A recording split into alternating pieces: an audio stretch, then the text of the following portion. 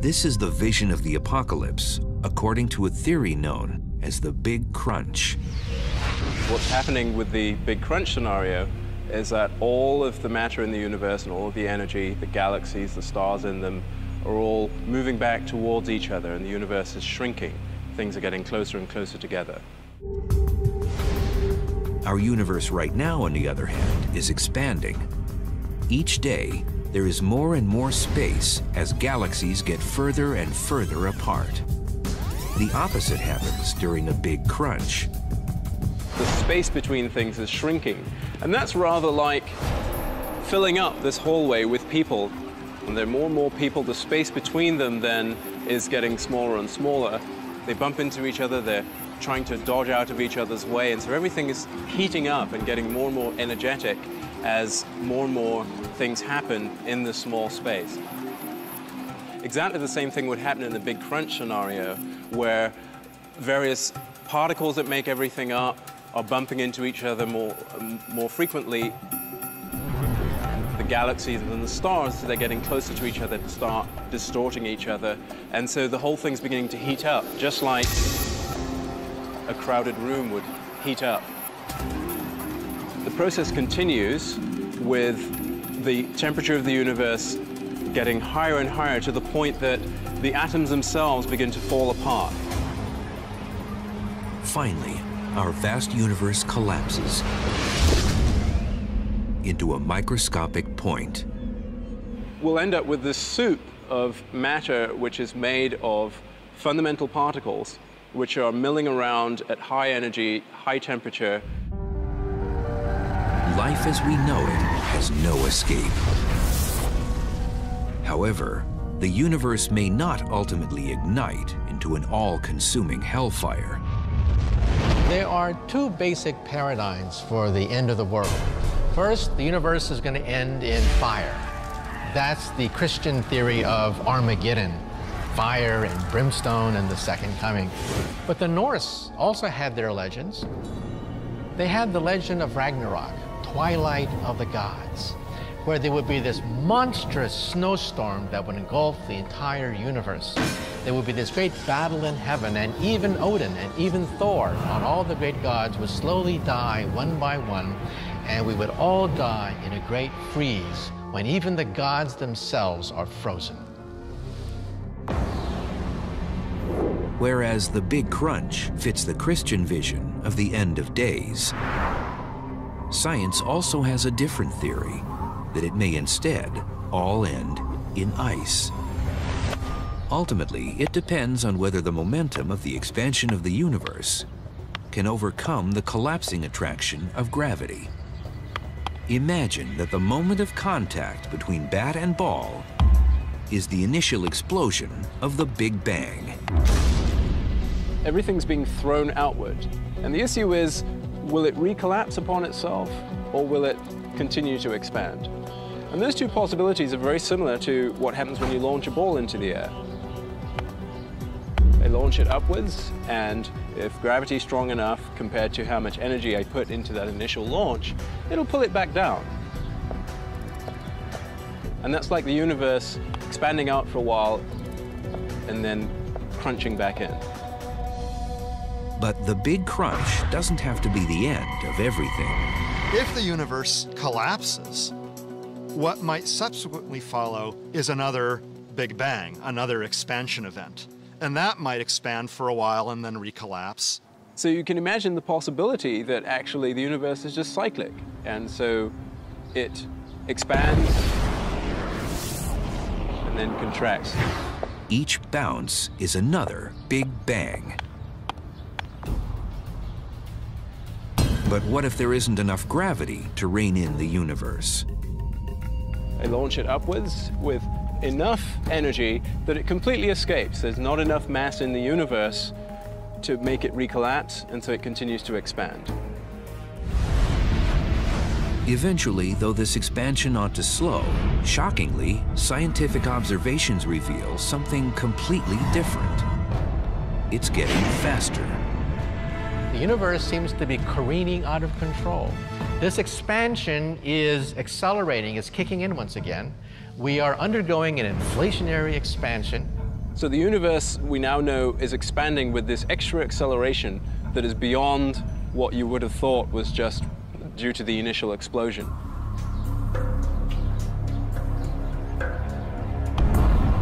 Not only does the ball escape, but it's as though a little rocket engine was on the ball and it accelerates away from the Earth even faster. This is a possibility that was somewhat unexpected. The volume of space in the universe seems destined to increase forever. What this means is that distant galaxies are going to go zooming away from us and will eventually become invisible because they'll be too far away to see. Without seeing galaxies rushing away from each other, future civilizations will lose all sense of history. They won't know that there was ever a Big Bang. So you will think that the only structure within the universe is the Milky Way galaxy, and that the rest of the universe is effectively empty, devoid of stars. Another scientific theory proposes that this expansion will balloon even faster. If this does happen, a violent end awaits our cosmos. Suppose the amount of repulsive energy increases with time per unit volume. It'll eventually grow strong enough to cause clusters of galaxies to get ripped apart, and then galaxies themselves will get ripped apart. The stars will start flying away from one another, no longer held together by gravity. And then planetary systems like our solar system will get ripped apart. And then stars and planets will get ripped apart. And then humans will get ripped apart.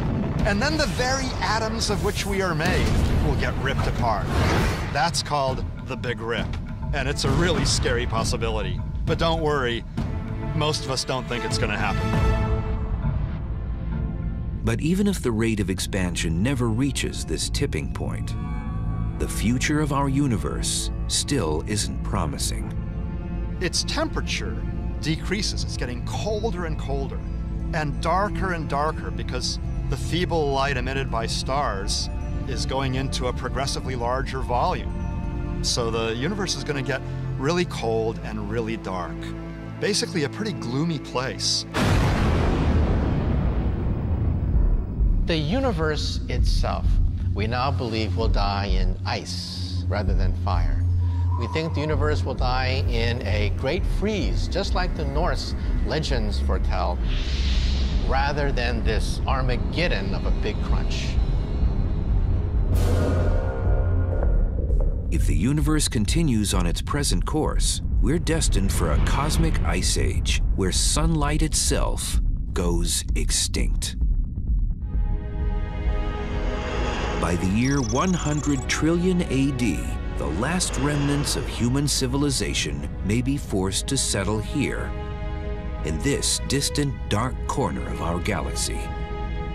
They'll be huddled around the last burning star in the sky, but sadly, it too will soon die.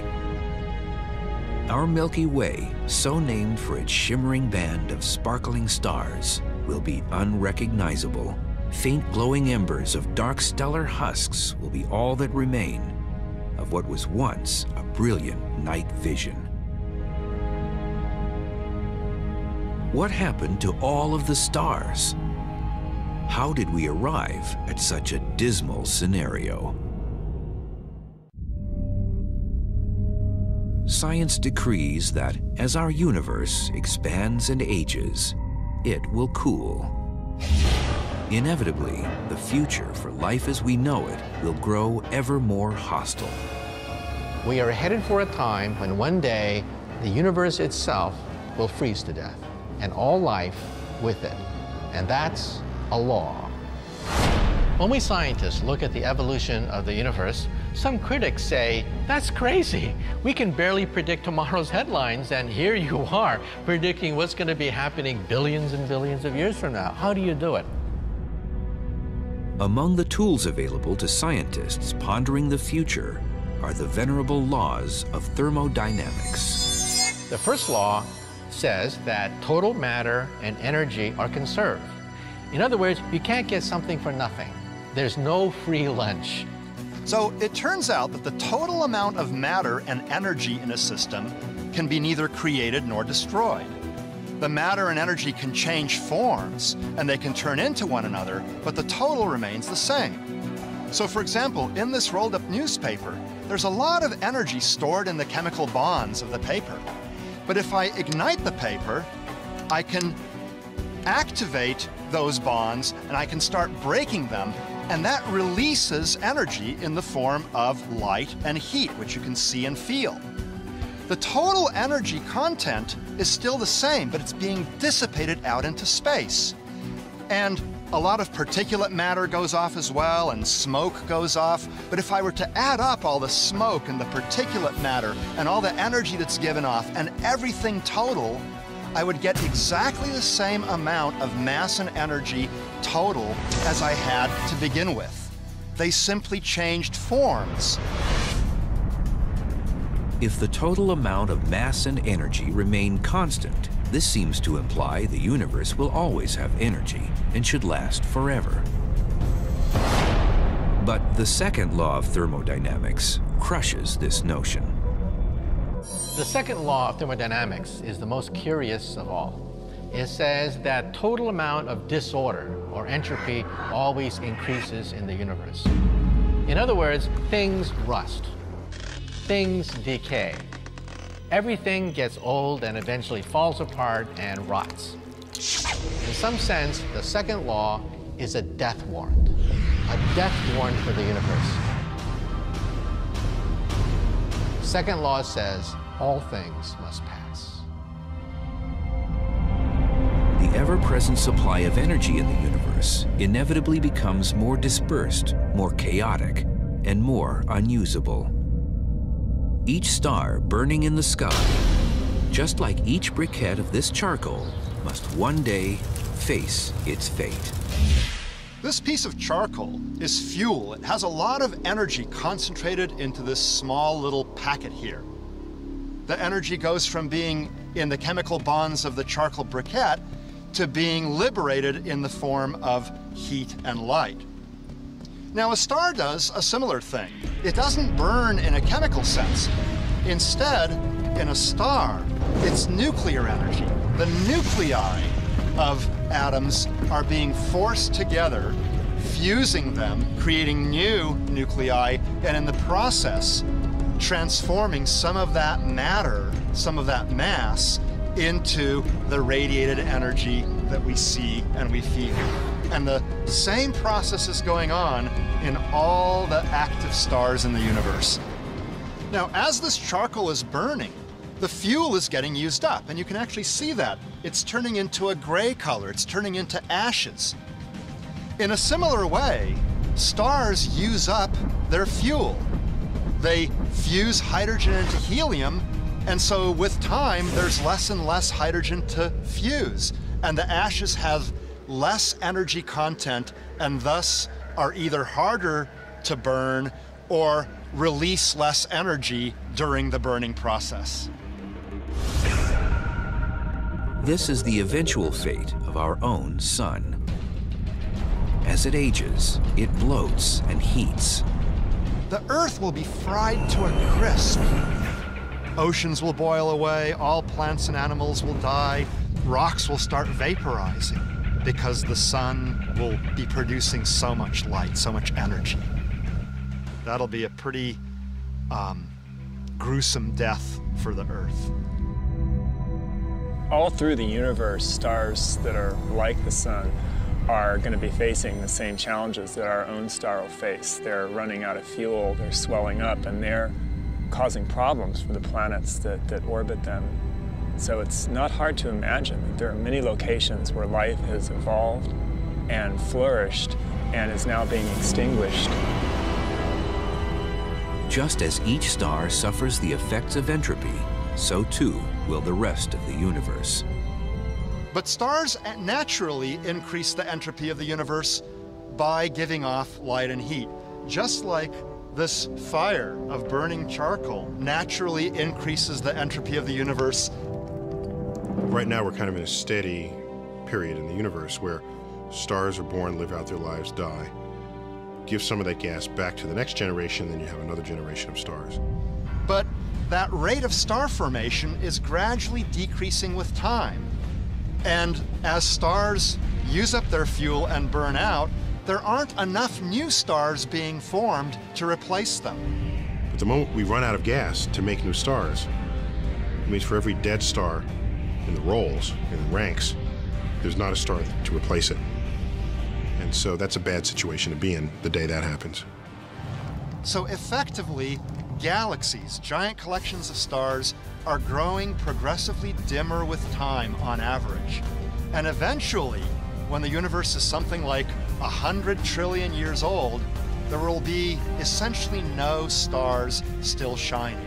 The universe will be cold and dark indeed. Any life that depends on sunlight will rapidly go extinct as the universe continues to age and as there are fewer fewer sources of life providing energy from a host star. You might think the most massive stars, the ones with the most fuel, will last the longest. In reality, the more fuel a star carries, the faster it burns through it. The final rays of sunlight left in the universe will come from stars known as red dwarfs. These miniature stars, 10 times less massive than our own sun, burn thousands of degrees cooler. Red dwarf stars are much more miserly with their fuel consumption, and so even though they have less fuel to begin with, they last much, much longer than our sun will last. A typical red dwarf can live for as long as 14 trillion years. That's a thousand times longer than the current age of our universe. Eventually, though, even these stingy little suns will begin to die off. So when our Milky Way galaxy is tens of trillions of years old, and there's only a few red dwarfs remaining, you might imagine that any surviving civilizations will realize that the end is nigh, and they will start crowding around these few sources of energy, trying to scrape out an existence. Red dwarfs could be oases of life in the vast, inhospitable desert of the universe. But for a planet to receive as much heat and energy from its red dwarf host as our Earth does from the Sun, it would need to orbit so closely that one full year would last just six Earth days. The sky would be much more sort of whitish red than our blue skies here on Earth because the red dwarf puts out so little blue light, you wouldn't be able to have the kind of nice blue skies that we have here now. However, nothing left in the universe would be hotter or brighter. So there will be a time in our galaxy when there's just a few red dwarfs still glowing, and maybe just then three and two and one as they blink out. And gosh, when there's one red dwarf left, and suppose I'm on the planet circling it, I'll think, man, oh man, what a lonely place the universe is, what a depressing future it holds. What happens after the last red dwarf blinks out of existence?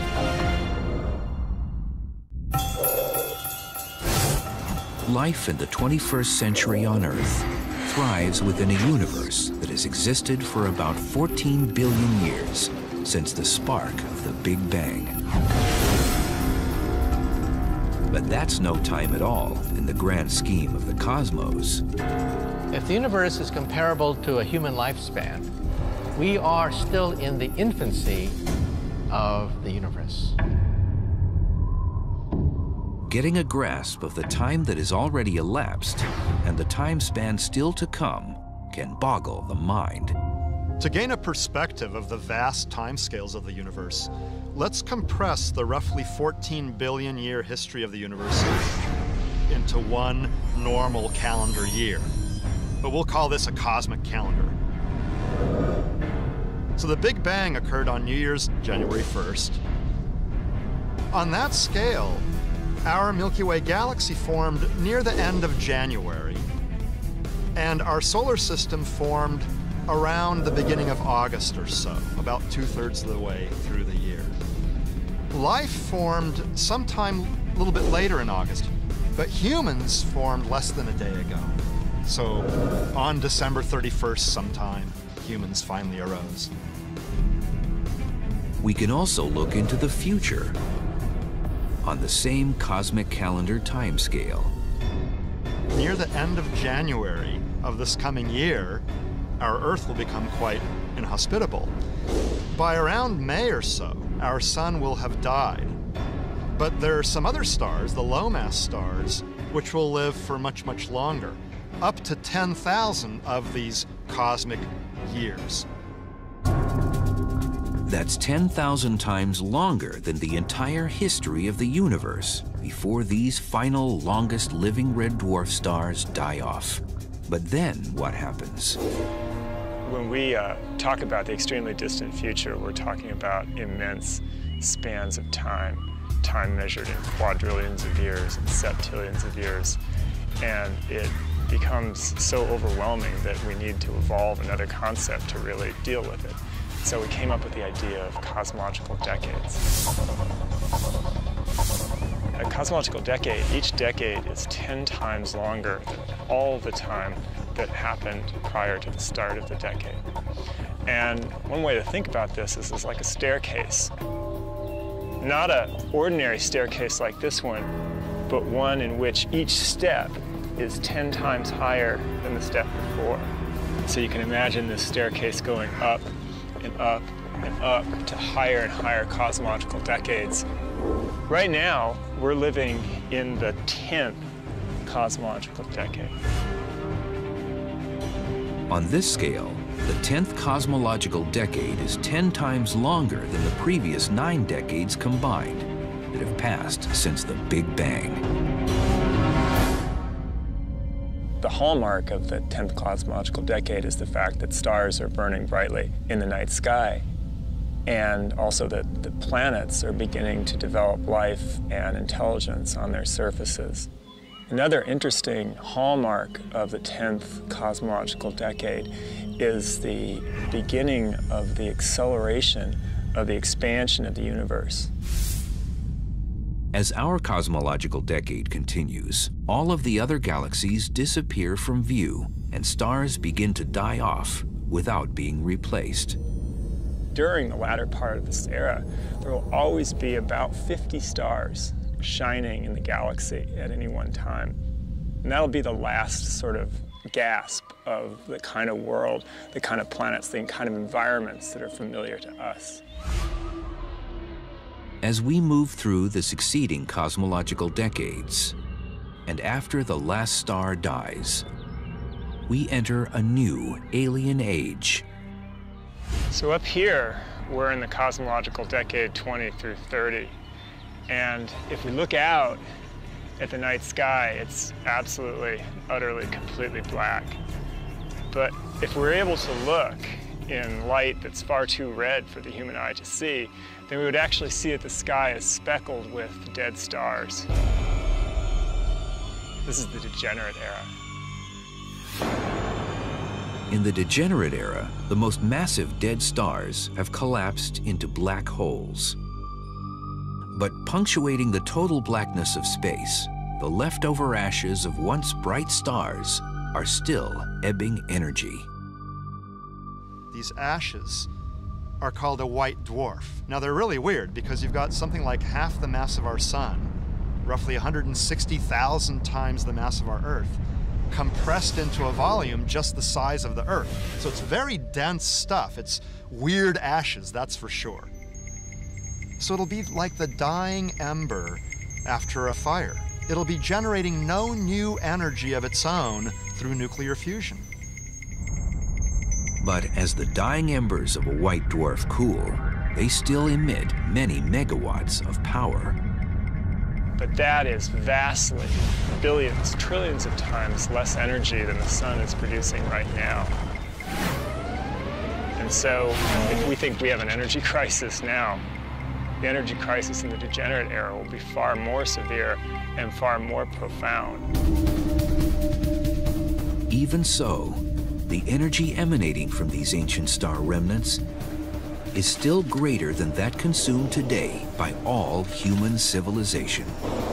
If we were to imagine that somehow a human civilization were to persist into the degenerate era, they might be tapping the energy that's emerging from the white dwarf. However, humans wouldn't be able to establish an energy-gathering outpost on its surface, such as an oil rig anchored to the ocean floor. The surface gravity is incredibly strong. You would basically be crushed if you tried to stand on the surface of a white dwarf. To survive, future civilizations would need to establish an orbiting colony. They would probably tap that energy that's coming from the white dwarf by having some sort of absorbing panels that are also in orbit around the white dwarf. So the energy that's emanating up from below would be captured and trapped and used. Still, light in this white dwarf orbiting future would have to be generated artificially. There's no stars shining in the sky. There's no moonlight. There's no sunlight. You're simply orbiting a gigantic, dead, black mass. Unfortunately, dead black masses will make up the bulk of galaxies during the degenerate era. So as we go into the degenerate era, we'll have roughly 100 billion dead stars orbiting each other in a giant elliptical configuration. Occasionally they'll interact with one another and one will get flung out of the galaxy, causing the galaxy to lose mass. The galaxy, in a sense, will evaporate slowly with time as these things are flung out. White dwarfs and remaining galactic material fall prey to black holes. So gradually with time, what'll happen is the galaxy will have fewer and fewer objects in it, and a greater and greater fraction of them will be black holes. And whatever isn't seized by the millions of black holes roaming the universe begins to decay with old age. And this is another example of the general process by which the total amount of randomness increases in the universe. The second law of thermodynamics is once again at work. And all the structures all of these stars are basically evaporating into nothing. And so by about cosmological decade 40, most of the stuff that's been built, the planets and stars are all gone. And the degenerate era, which is stretched for huge amounts of time, is coming to an end. With nothing left in their way, black holes stand poised to rule the universe. This may be the grim future of the cosmos. The planets decay and dissolve. Dark galactic remnants scatter across a bloated universe. And even light is just a faint, distant memory. As we continue through the vast stretches of time measured in cosmological decades, massive black holes survive as the only recognizable features of our once brilliant night sky. We're up to about cosmological decade 60 something. And when you look out at the night sky, it's incredibly cold, it's incredibly black, and there's only the faintest crackle of radio waves and gravitational radiation echoing through the empty skies. This is the black hole era. The continuous expansion of the universe has taken its toll. The unimaginable cold saps energy and constricts movement. Time itself seems to lose meaning. In the midst of the black hole era, even the degenerate era looks like the first sliver of time after the Big Bang. Does life have a chance in this environment? Humans won't exist at that time because protons won't exist. But it's possible to imagine some kind of entity which is living at an extraordinarily slow rate. If it lives slowly enough, perhaps strange life could emerge. A thought would take trillions of years. It may take a trillion years for you to decide what to have for lunch because everything is so slow, everything is near absolute zero. The creeping timescale of the black hole era can be compared to the growth of vegetation. From a human perspective involving minutes, hours, and days, plant life can seem frozen in time. Absolutely nothing seems to be happening. It appears to be completely dead, completely static. But if we speed up the clock, then we see the activity. Plant grows, the plant moves its leaves in response to where the sun is. The plant is continuously in motion, it's continuously doing things. But that whole scale of existence is on a time frame that's longer than what our experience is used to dealing with.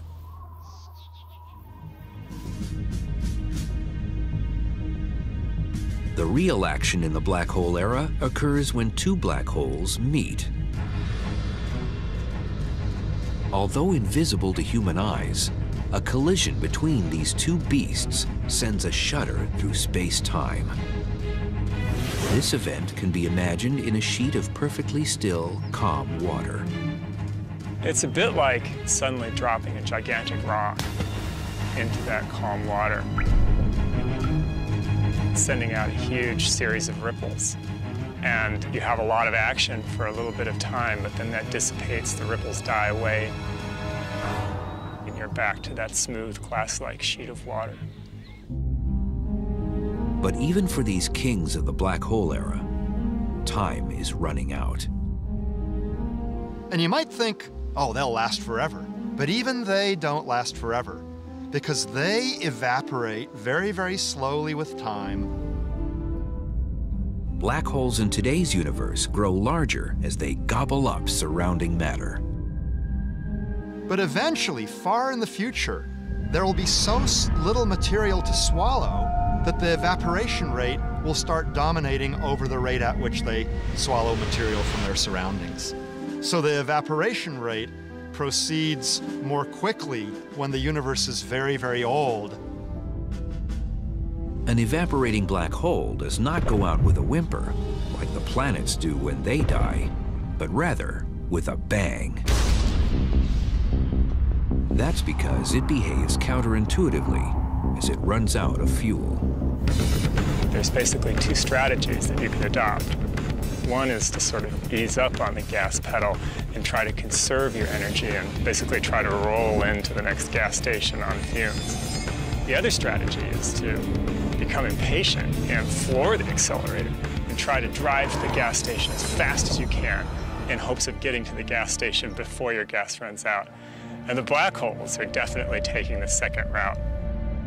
Unlike a car, when a black hole finally runs out of fuel, it explodes. And in the last second of the black hole, when you're releasing megatons and megatons worth of TNT equivalent, a huge variety of particles that haven't been seen for many cosmological decades come spewing into existence and kind of flicker away in a last fireworks-like burst after the black hole is gone.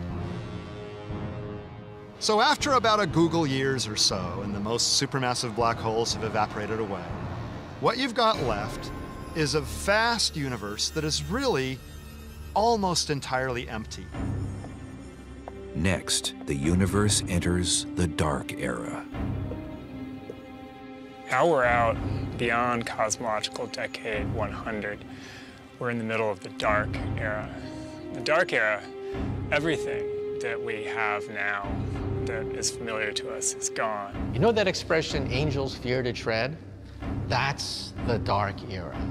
The dark era you never want to go to because everything has crumbled. Not just the sands and monuments to man's folly, but even the atoms themselves have begun to crumble. Even black holes are not possible in the dark era. If the universe continues to expand forever, it may be that only a cosmic mush of random particles remains. But a few surprises may yet rise out of these ashes. If, in the distant future, chaos does rule over order, our once glowing hot universe will descend into a chilling galactic ice age.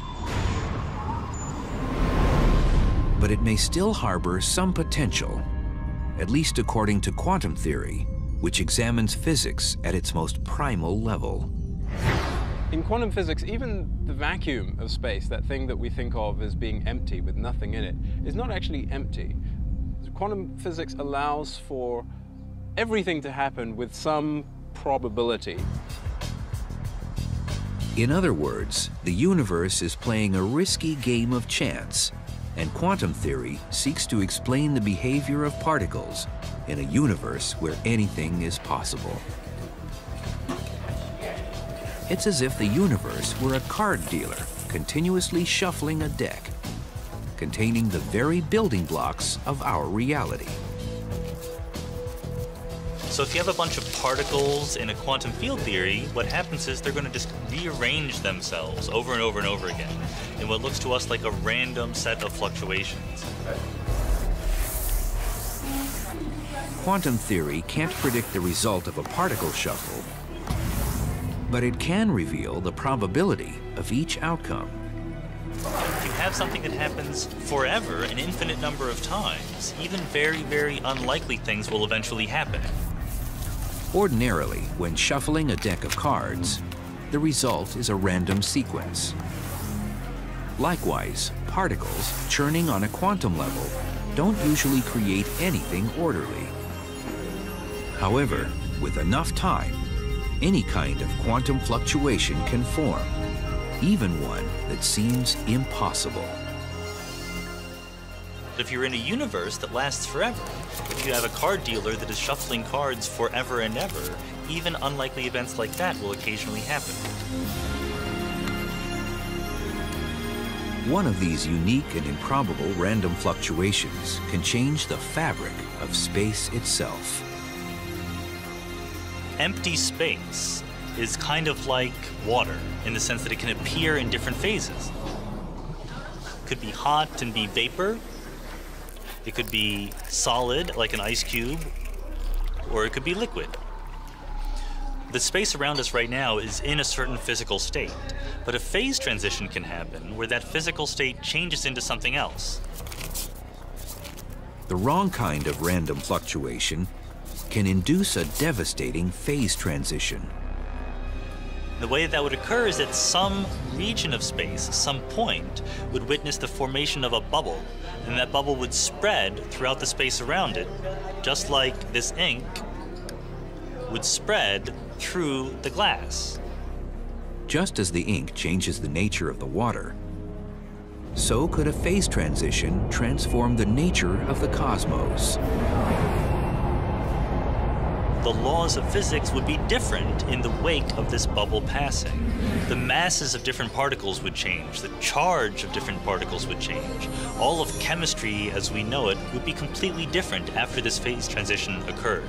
And what that means is that suddenly there are new ways to arrange all of the particles that we're made of, and it's sort of like everything in the universe becomes an atomic bomb it would just rearrange itself, releasing energy, and literally every particle, every atom, every structure in the universe would explode. So no complicated structure can possibly survive that sort of transition. What will be left is just a mess. Nothing but a gas of particles bumping randomly into each other. But a random quantum fluctuation can also spark a bubble of hope.